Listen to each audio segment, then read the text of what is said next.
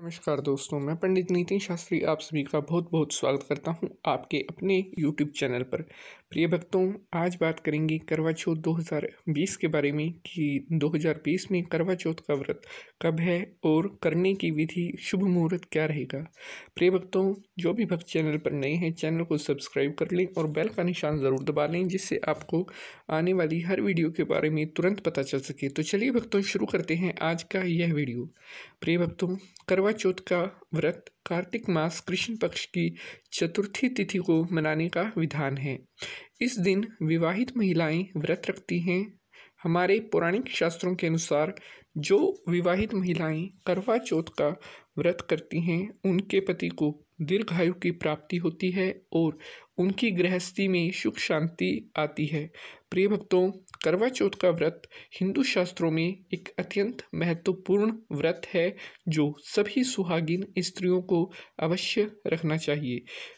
अब बात करेंगे साल 2020 में करवा चौथ का व्रत कब है?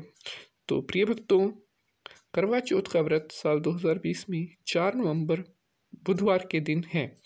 चतुर्थी तिथि सुबह तीन बजकर तीस मिनट को प्रारंभ होगी और पाँच नवंबर सुबह पाँच बजकर पंद्रह मिनट तक रहेगी।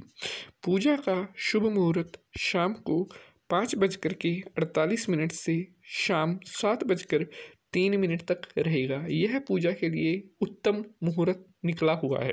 प्रिय भक्तों, चंद्रमा निकलने का समय रात्रि आठ बजकर पचास मिनट तक रहेगा।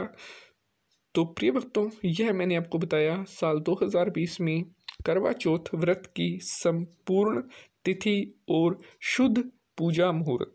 करवा चौथ के व्रत में पानी भी पीना वर्जित माना गया है, इसलिए इसे निर्जल व्रत भी कहा जाता है।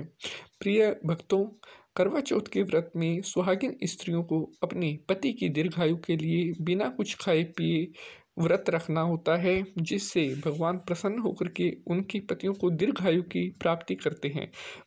प्रिय भक्तों करवा चौथ के व्रत में सुहागिन स्त्रियों को शाम के समय कथा अवश्य पढ़नी चाहिए और चंद्रमा को अर्घ देने के बाद, शाम को जब चंद्रमा निकल जाए, उसको अर्घ देने के बाद ही भोजन ग्रहण करना चाहिए। इस प्रकार से किया हुआ व्रत उनका सदैव सफल होता है और उनकी मनोवांछित इच्छाएँ पूर्ण होती हैं। आशा करते हैं आपको आज की वीडियो में दी गई जानकारी बेहद पसंद आई होगी। अगर वीडियो पसंद आई है तो वीडियो को लाइक, शेयर, कमेंट करना मत भूलिएगा। चैनल को सब्सक्राइब ज़रूर कर दीजिए।